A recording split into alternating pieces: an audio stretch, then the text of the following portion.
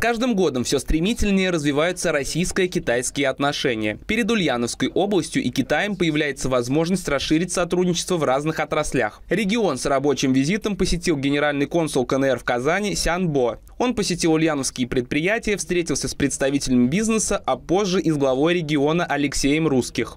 Постараемся быть мостом для налаживания прямых э, сотрудничества между компаниями, для того, чтобы расширить сотрудничество в таких областях, как логистика, транспорт, торговля, инвестиция, конечно, еще автомобиль в области. А что касается гуманитарной связи, мы тоже готовы поддерживать эти связи, сотрудничество.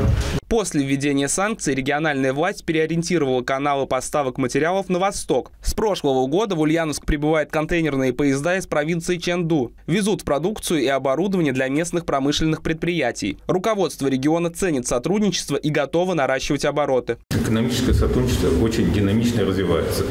Мы по итогам 9 месяцев 2022 года вышли уже на почти на 110 миллионов а, долларов, и это только начало.